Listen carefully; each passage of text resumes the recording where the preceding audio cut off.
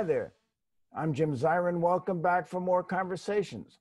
Our subject today is China, COVID, trade, human rights, China's place in the world. With us is an authority on Chinese affairs. She is Elizabeth Economy, Senior Fellow at the Hoover Institution at Stanford University. She is the author of a brilliant book entitled The Third Revolution Xi Jinping and the New Chinese State. We're pleased to welcome Liz Economy back to the program. Liz, delighted to see you, delighted to have you with us. And uh, let's start with uh, the grisly subject of COVID. They say the curve is flattened in China, and with the statistics that have come out, they say they have 11 new cases every day. We have 60,000. Uh, they have uh, 91,000 uh, since it began, uh, 4,739 deaths. We have 8 million since it began and 224,000 deaths. Uh, what accounts for this dramatic disparity? Um, well, first, Jim, thanks. It's great to, to be back with you. Um, and I think appropriate to be talking about this uh, topic uh, as we are still in the midst of this uh, pandemic. Uh, so what accounts for this difference is, is really, uh, you know, in large part our own administration, the Trump administration, which has uh, been an abject failure in terms of uh, addressing the pandemic. Uh, and so I think it would be a mistake, as many commentators uh, have done or many analysts have done, uh, to assume that because China has done a very effective job of arresting the pandemic, that somehow this is a tribute to their authoritarian system and that somehow democracies are not as able to address it just because the United States has not done a good job. Because many democracies have, in fact, done a very good job uh, of uh, fighting back against the uh, COVID 19. Uh, so, Taiwan uh, is an exemplar, uh, South Korea, Germany, New Zealand. there are many cases, you know, of states that have managed to educate their populace, to undertake the appropriate measures, uh, and to stop this virus, uh, you know, almost as soon as it as it as it hit. Uh, so I I know that uh, there is this sense somehow that we should be comparing the United States and China as system types, and that we should draw some you know significant lessons. Uh, but I don't think that that's the case. I think the United States has been um, you know, not uniquely, but certainly very terribly at the bottom of the pile uh, in terms of addressing this. Well, at the beginning of the uh, pandemic, uh, Trump was full of praise for Xi and said he'd handle the thing marvelously and applauded his transparency. And then something happened. Now it's the China virus, and it's really China that was responsible for giving it to us in the first place. I mean, what accounts for the change? Is this legitimate, uh, or is this just posturing? So, I mean, certainly, you know, the virus originated in China, and you know, within the first several weeks, uh, even really the first month uh, of the spread within China, uh, there is an argument, and I think a valid one, to be made that uh, had the uh, Chinese government been more transparent, you know, it, had they not had this culture of fear, you know, not uh, clamped down on the doctors who tried to warn the people initially about the virus, that in fact they could have uh, alerted the international community much earlier than they did, uh, and that this allowed for the spread of the virus outside the country. So I, I do think that there is, is some truth to uh, the accusation that had Ch- China managed it better at the outset, that uh, parts of the world would not have confronted it at all, perhaps. Uh, but that does not, you know, in any way uh, address the issue of how we handled it once the virus had spread here. And I think the president is simply looking for uh, someone to blame, uh, again, for what has been an abject failure on the part of the administration. Um, and you know, calling it the China virus and this kind of rhetorical, you know, hype, it doesn't do anybody any good. What we should be doing is focusing on what we need to do to address it and, and to arrest it.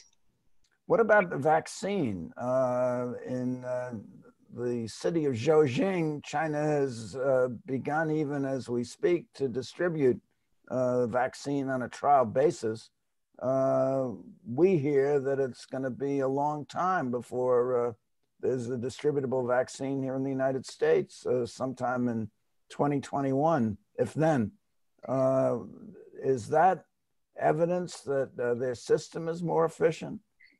Well, I, I think probably, um, you know, look, certainly China has made great strides um, in, you know, pharmaceuticals and research and development. Um, but I think what we're looking at in this case is the fact that the United States simply has much more stringent uh, rules and regulations uh, for the approval process of new vaccines and new treatments than China does.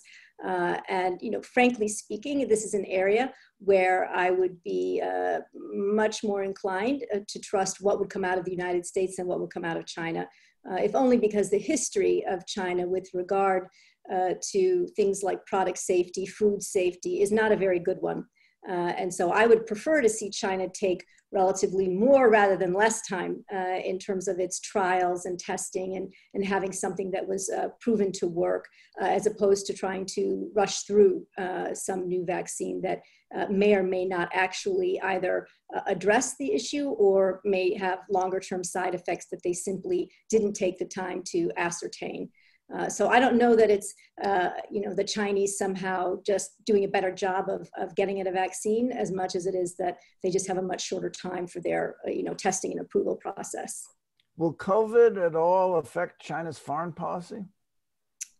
Well, I think we've seen already um, the, hmm. some of the ways in which it's affected its foreign policy. And, uh, you know, one of the things that's come out of, of the uh, COVID-19 pandemic, I think, has been uh, a, a, new awareness, you know, frankly speaking, of, of the sort of bullying and authoritarian nature uh, of Chinese diplomats and foreign policy. Uh, I'm sure you've heard the term wolf warrior diplomacy, mm-hmm. uh, you know, which uh, refers uh, to, you know, a couple of movies that came out, you know, which mm. uh, Chinese, you know, elite forces, you know, rescue people away from the terrible American and other mercenaries. but basically these diplomats, you know, went out, have, have fanned out across the, the world uh, spreading disinformation, you know, threatening countries, uh, you know, with withholding um, sort of the medical supplies that China had available to sell and to donate if, if they didn't publicly thank China for the assistance, uh, or, you know, when Australia uh, said that it wanted to do wanted to see an investigation into the origins of the virus because we still haven't actually ascertained precisely where this virus you know originated from. Uh, you know, the Chinese stopped uh, buying um, beef and put tariffs on their barley and uh, have continued with a range of other economic sanctions. So this kind of threatening and bullying behavior, I think, uh, really, um, you know, was to the detriment uh, of China. And beyond that, of course, we saw very aggressive action out of China in the South China Sea, right in the midst of the pandemic. I mean, at the very height of the pandemic, it's actually pretty shocking. Uh, you know, China's out there sinking uh, a Vietnamese fishing boat, you know, undertaking pretty aggressive action uh, in uh, territorial waters around Malaysia and Indonesia, passing the Hong Kong uh, National Security Act, which basically now has transformed Hong Kong, you know, just into another Chinese city, just a completely um, crackdown on Hong Kong's uh, political and civil rights. Uh, so all of this aggressive action and this threatening rhetoric, I think, um, really uh, basically made um, the Chinese uh, diplomats, what should have been a diplomatic win for China, turn into really a diplomatic debacle. Let's turn to trade. Uh, for um, um, some period of time, Trump tried to make a, uh, a deal with China. He thought uh, he was on the verge of a trade deal. Uh, and then something happened. And now we're in the midst of uh, a trade war. Negotiation has uh, morphed into confrontation. Uh, how would you characterize our current relationship? I think um, in the pretty much 25 years that I've been studying China, I have not seen uh, the relationship uh, at such a low point. Uh, we essentially have no uh, diplomatic engagement with China uh, at this point. Our bilateral framework that we had developed uh, just to talk to the Chinese, to talk to Chinese officials, has atrophied. and certainly, you're right. I mean, right at the right when COVID hit, we had just signed the phase one trade deal.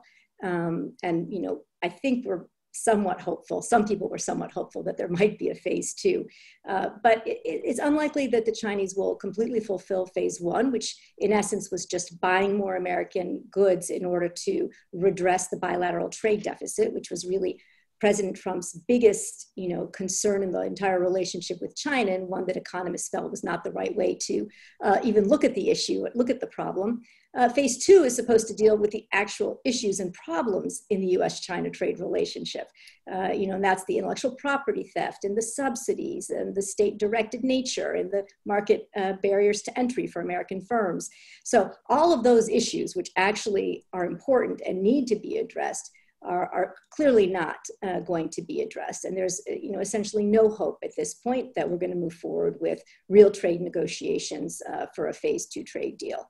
Um, so what happened to COVID-19 certainly interrupted things, um, but beyond that, it's just the really truly hard work of negotiating the trade deal, I think was something that President Trump, uh, even if even if the Ambassador Lighthizer had the patience for it, I don't think President Trump did.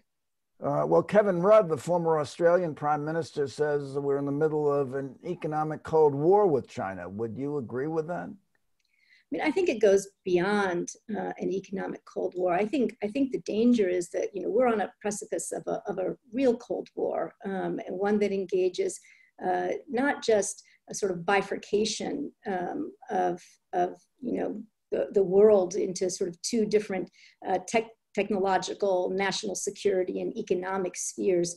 Um, but also there's a there's an ideological component to this, which I think you know is still under debate here in the United States about whether this is is happening. But from my perspective, uh, China certainly is exporting elements of authoritarianism uh, around the world, uh, parts of its system, uh, in ways that are reinforcing uh, authoritarian systems in other countries and uh, providing them with the technological tools, doing political training for officials on how to control civil society, how to monitor the internet, all of things that China does at home, uh, it's you know exporting abroad.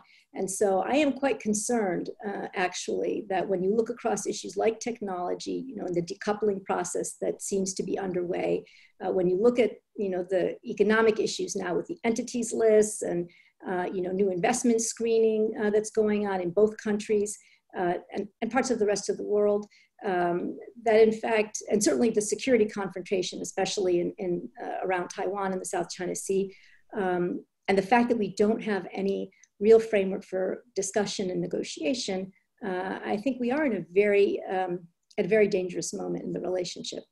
Well, we've moved uh, aircraft carriers. The Cold War could become a hot war. We've moved aircraft carriers into the South China Sea, and then uh, so we've probably embarked on a um, policy of confrontation with China. Uh, when you couple that with uh, uh, blocking China tech companies from doing business in the United States, or uh, as we started to do with TikTok and and and WeChat uh, we just seem to be going on a slippery slope to uh, um, serious uh, confrontation with uh, uh, the world's largest emerging economy. Yeah, I think um, I think you're right. Uh, I think that, that the challenge really is that the administration is not wrong in many respects to look across um, the full scope of the U.S.-China relationship and to identify areas where perhaps um, you know China has taken advantage of the United States or where China is posing new kinds of challenges that we hadn't seen previously. Uh, I think there is a recognition that China under Xi Jinping is a fundamentally different uh, country than it was in the pre-Xi era, that, that the ambition is much greater and that, that Xi's China does pose new kinds of challenges to the United States that need to be addressed. So I think in the, in the sense that the administration has undertaken a reset of, of China policy, sort of rethought it and reset it, that's important. I think where we're missing the boat in a, in a dangerous way, as you suggest, is that it's not clear that the administration has a sense for what is the end objective. What is it when the administration looks out five or 10 years from now? What do they want to see in the US China relationship? What is their vision uh, for the United States, its place in the world, and its relationship to China?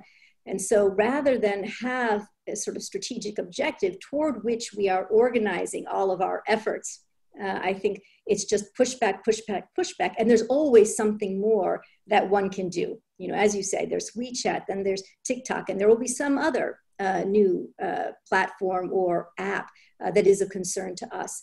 Uh, but in, in, in, what we should be doing is thinking through in a strategic way where do we want to be and how do we get there? And I think that's the biggest flaw, uh, at least in US China policy today.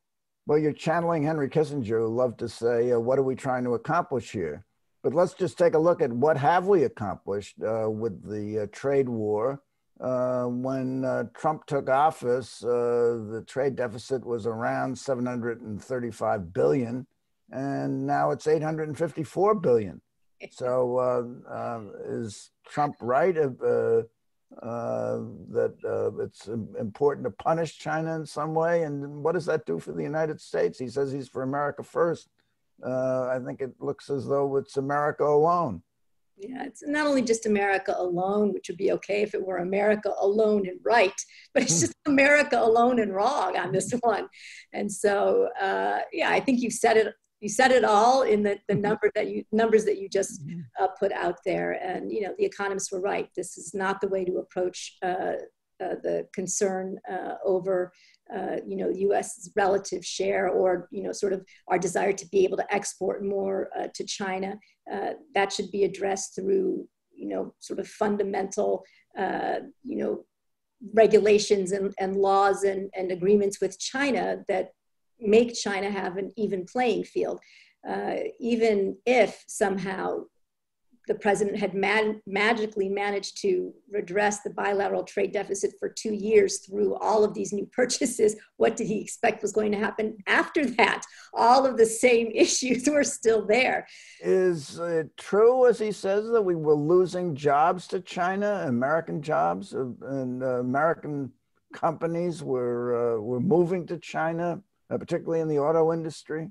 Well, I mean, certainly it's true. We, we've lost jobs, you know, to countries all over the world. It's part of uh, the way it, it, it's kind of the bargain that we made when we decided that globalization uh, was, you know, a world in which we wanted to live, a globalized world. Uh, and but what we should have been doing as sort of low cost, low end manufacturing jobs were moving outside the country is figuring out how to uh, train and, and develop new skills for more advanced manufacturing in our country, mm. right? And and I mean these are things we know that we should be doing, and we simply haven't done them. And the answer is not really to try to bring back you know jobs and, and coal mining jobs the answer is you know to move forward with for example new energy technologies right? And to develop the skills in our workforce to be able to do that, because that is not only the future for the United States, it's the future for the world. And why don't we want to be uh, at the leading edge of that technology revolution? Uh, so I think, you know, a major flaw in President Trump's approach was, you know, a backward look uh, and not a, a, forward look, again, for where the United States wants to be in the future, not trying to uh, recreate an America of the past. Did Trump get any of it right in your judgment? I think, um, to my mind, what the administration got right, and I, I don't really give credit to President Trump for this because President Trump really had only two priorities in the relationship with China. One was redressing the bilateral trade deficit and dealing with North Korea. And the dealing with North Korea, of course, was important, uh, but that didn't happen actually. So in the end, right, uh, we've made no progress with North Korea. Uh, everything else that I think this administration has gotten right, for example, uh, rebooting the Quad, right, the partnership with India and Australia and Japan, uh, strengthening partnerships with other countries in Asia, for example, you know, Vietnam. Um, all of that has come out of other members of the Trump administration, uh, our pushback on China and human rights, all of these things in Xinjiang. I think the administration has done a good job of stepping up to the plate and in some cases leading even globally. You know, on the issue of Huawei, I think it's fair to say that countries in Europe and elsewhere, Japan and Australia excluded from this, uh, would not have uh, sort of looked at Huawei uh, with the same through the same national security lens as they have now, with the same level of concern as they have now, had it not been for the Trump administration, you know, sounding the alarm. So I give the Trump administration, the people, you know, the Asia hands in the National Security Council and the State Department credit uh, for recognizing these challenges and developing policies uh, to deal with some of them. But it's not the president. You don't hear the president out there talking about a free and open Indo Pacific. There's nothing about the United States leading on the global stage. All the elements of leadership that the United States has managed to eke out over the past three years have come because of other officials in his administration. Well, um, how long is all this going to last? Uh, Jack Ma, the, the billionaire who uh, came from nothing and founded Alibaba, says it's going to last 20 years. Is that a fair estimate? Yeah, I'm a little bit more optimistic um, that the trade war does not have to last um, 20 years. I think uh, that there's the possibility with the new administration in the United States, uh, with partnership with uh, European Union and our Asian allies, uh, and with some degree of interest among economic reformers in China, uh, that we can begin to make some progress. It's not looking good right now. I think that's true. And the overall direction in which Xi Jinping is moving the country uh, is not the right one. And his whole new dual circulation theory, which he's now put forward, is all about basically developing a closed loop of, of manufacturing, uh, investment, and uh, you know the domestic economy will become basically 80% uh, self-sufficient. Uh, so I think that's not a good sign. But I do think if we can create an external environment uh, through trade agreements, bilateral investment treaties, other things uh, that incentivizes China to rejoin uh, the world economy on terms that are fair, uh, that that's the way to go. Um, but that requires a very different administration in, in the White House. barring that, Jack Ma is probably right. we really haven't deterred them from their human rights violations. Uh, no matter what we've done, there's uh, we almost signaled that it was all right for them to uh, incarcerate uh, the Muslim sect, the Uyghurs, in uh, in the concentration camp. Uh, the the move on on the publisher uh, Geng Xiaonan, who supported the constitutional law professor who was uh, protesting against uh, the government. Uh, I mean, there are all these, and also the intercepting the people who tried to escape to Taiwan from Hong Kong uh, on a boat, uh, and I guess they're still in jail. Uh, the so the political crimes persist, and we haven't really done much about registering any sort of protest. Well, here again, I would say that um, the administration, President Trump, no. Uh, and I think a couple of books that have come out recently have made it clear that he has no interest in, in human rights. Uh, but if you look again at uh, the National Security Council, the people there, the people at the State Department, they actually take these issues very, very seriously. And um, so we have been at the forefront in the United States and Congress, I would say, which traditionally has played a very strong role uh, in the human rights area uh, with regard to China. Uh, you know, we passed the, the Hong Kong uh, Human Rights and Democracy Act in Congress. Uh, we put sanctions on Hong Kong officials, on Xinjiang and other Chinese officials. We've, you know, pushed to have American corporations, you know, ensure that they're not uh, sourcing from Xinjiang. So we have tried, I think. Um, but the, the, the problem is that in the end, these are just after the fact sticks. Uh, and they don't have an impact, I think is what you're saying and, and right, uh, rightly saying. They don't actually have an impact in changing Chinese behavior. Also, what do you make of uh, Trump's business dealings in China? He uh, uh, paid uh, 250 times as much in taxes to China, it was reported, than he paid to the Internal Revenue Service. You know, Jim, I, I don't think there are words that could express what I happen to think about that no words to express it. So anyway, let me ask you a question, Liz. Where do you see the U.S.-China relationship going um, over the next decade? I think it's going to be challenging, um, no matter who is in the White House. I do think if we end up with a Biden uh, administration, uh, you know, beginning in, in 2021, uh, that at the very least, I think two really important things will happen. Number one, I think the United States will begin to recapture, to reclaim uh, some of its leadership uh, on the global stage in terms of addressing global challenges, things like the pandemic or global climate change, refugees, uh, all of those issues where the rest of the world, you know, looked to the U.S. for leadership, admired the United States for uh, its leadership. I think Biden administration will, uh, you know, begin uh, to move back into that direction, and I think that's hugely important. And it's hugely important in dealing with China because we left a vacuum uh, of leadership. China could have filled it. It's only by the grace of God that Xi Jinping doesn't doesn't actually uh, have the wherewithal to to do the right thing on the global stage in many respects. So China couldn't fill it, um, but we need to be back in action. The other thing I think that's important that will happen is that uh, we will reconstitute some form of a bilateral framework with China. Um, we will, I think, try to find a few areas of common ground and common purpose, uh, and so in that way, put a floor uh, underneath, you know, this relationship which seems to be spiraling down. Uh, and of course, my big hope is that we will, in the end, have a strategy for China, uh, not just something where we just keep pushing back without a sense of where uh, we want to see this relationship end up. Spiraling down, but all is not lost if we can possibly evolve a strategy. Liz has been just marvelous, a terrific, terrific exchange. And uh, I want to thank you for coming by and thank you for coming by. Tune in next week for more conversations. I'm Jim Zirin. Stay well, be safe, and all the best.